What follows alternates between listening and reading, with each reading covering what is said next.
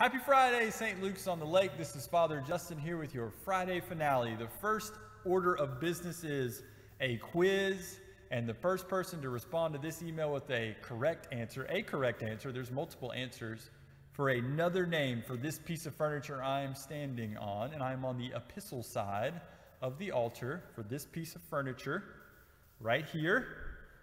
A correct name for that, you'll get a prize. I don't know what the prize is, but you'll get a prize three things that we're going to talk about. We're going to talk about St. Luke's Cares, we're going to talk about the pilgrimage, and we're going to talk about confirmation. First, St. Luke's Cares.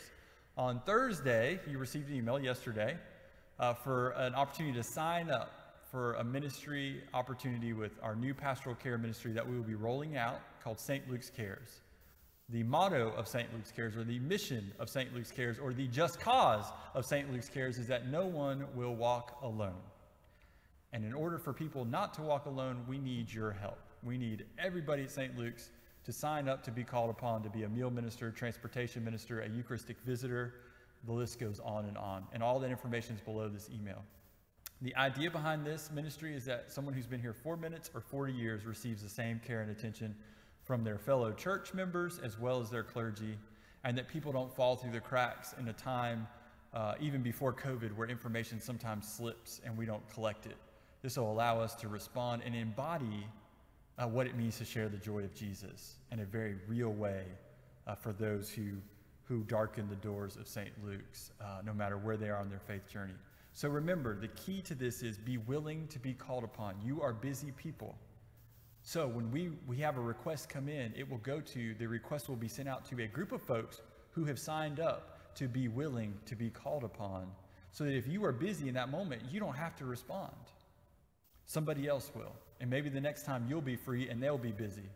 So that's how this ministry works is it shares the ministry load out over a large number of people uh, so that we can make sure that everybody gets that big St. Luke's hug and experiences that joy of Jesus that we talked about on Easter. Again, the just cause, no one walks alone uh, at St. Luke's on the Lake. Second, the 2022 pilgrimage to the Holy Land. What better time than to come see the Holy Land during Lent, the season of Lent, the season of our preparation for the great paschal mystery that we just celebrated here in 2021. Please read about that. Many of you have signed up, and I'm so thankful for that.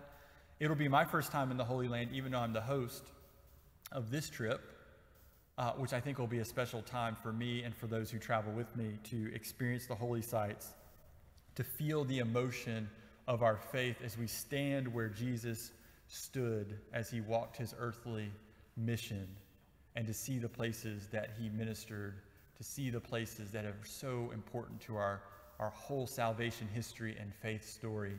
So come join me in the Holy Land. Families can travel together. The only requirement for children and youth is that they travel with their parents.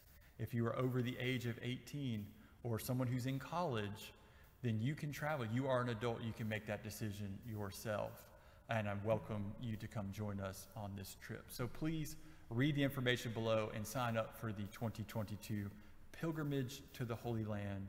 We have a year uh, to work for it, and if there's any financial burden whatsoever, let me know, and we will we will work with you uh, and help you to uh, cover cross that hurdle. That doesn't need to be a barrier for going to the Holy Land. Last, confirmation, adult confirmation. The bishop comes Pentecost. This is your last chance to let me know. A couple of you let me know you wish to be confirmed, received, or reaffirm your faith. You need to let me know. You can reply to this email. Barbara will collect that, get that to me. I will be in touch Monday of next week with our, our program uh, this year, which will be a little different than non COVID years since we're still in the midst of that. But I think we have a cool way to do confirmation for adults this year, uh, leaning on some interesting tools that we have to help us really grow and nurture our faith and our spirituality, begin that journey. So please sign up, let Barbara know, and we'll be in touch next Monday. Have a great weekend, and we will see you on Sunday.